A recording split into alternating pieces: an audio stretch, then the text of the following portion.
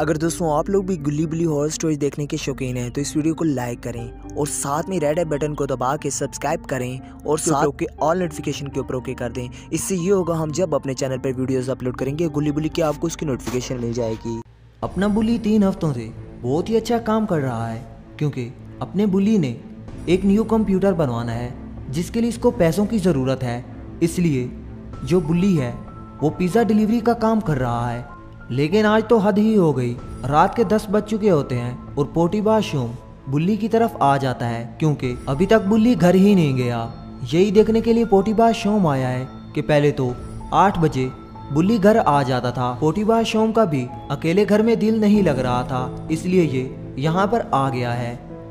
लेकिन इधर पहुंचकर पोटीबा शोम की जान में जान आती है, क्योंकि स्कूटर वहाँ पर खड़ी हुई होती है। इसका मतलब ये है कि अपना बुल्ली यहीं पर है। तभी पोटीबा शोम इंतज़ार करने लग जाता है कि अब आ गया हूँ तो बुल्ली को साथ लेकर ही जाऊँगा और फिर मिलकर गेम खेलेंगे, क्योंकि अकेले तो मज़ा ही नहीं आ रहा था। तभी पोटीबा शोम वेट करने लगता है।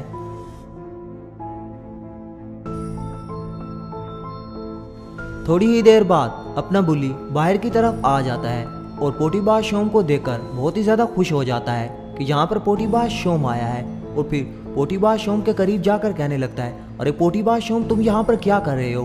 तभी पोटीबा शोम कहता है, इतनी देर क्यों लगा दी? दस बज चुके हैं। और फिर बुल्ली से कहता है, बस यार, ये आखिरी पिज़्ज़ा बचा है, जो कि मुझे डिलीवर करना है किसी पुलिस वाले के घर में और फिर दोनों घर चले जाएँगे।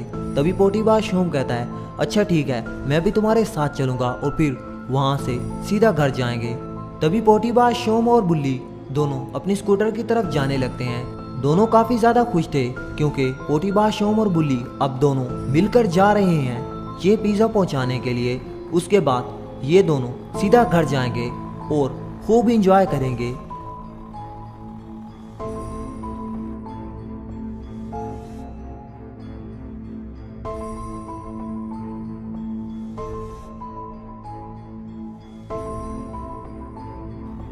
अपना बुल्ली बड़ी स्पीड से स्कूटर को चला रहा था, क्योंकि इनको बहुत ज़्यादा दूर जाना था। इसलिए जल्द से जल्द इन्हें वहाँ पर पहुँचना होगा, क्योंकि रात काफ़ी ज़्यादा हो चुकी है।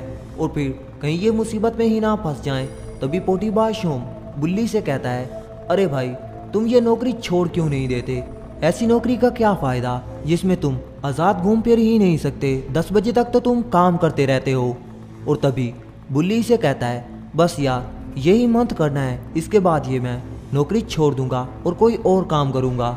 लेकिन यार, मुझे इस मंथ तो ये काम करना है, क्योंकि मुझे अपना कंप्यूटर बनवाना है। तभी पोटीबा शोम कहता है तो मैं कौन सा कह रहा हूँ? तुम अभी जॉब छोड़ दो, लेकिन थोड़े दिनों में ही छोड़ देना। बुल्ली कहता है हाँ ये आखिरी हफ़्ता है, और फिर खड़ूस बॉस से मेरी जान छूट जाएगी। पोटीबा शोम और बुल्ली यूँ ही बातें करते करते अपनी मंजिल के काफ़ी करीब पहुँच जाते हैं।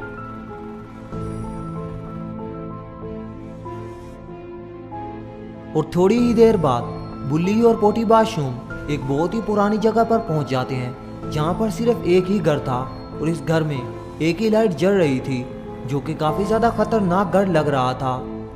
तभी बुल्ली और पोटी बाशूम इस घर को देखने लग जाते हैं कि आखिरकार ये इतना घर पुराना क्यों है।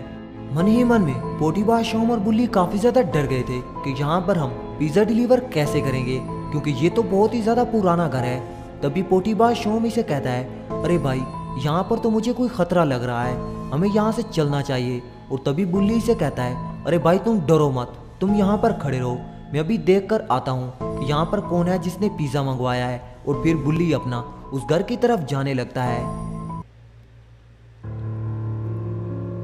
और तभी बुल्ली काफ़ी देर तक आवाज़ लगाता रहता है कि कोई अंदर है जो दरवाज़ा खोले। लेकिन फिर अचानक से कुछ बहुत ही ज़्यादा भयंकर होता है।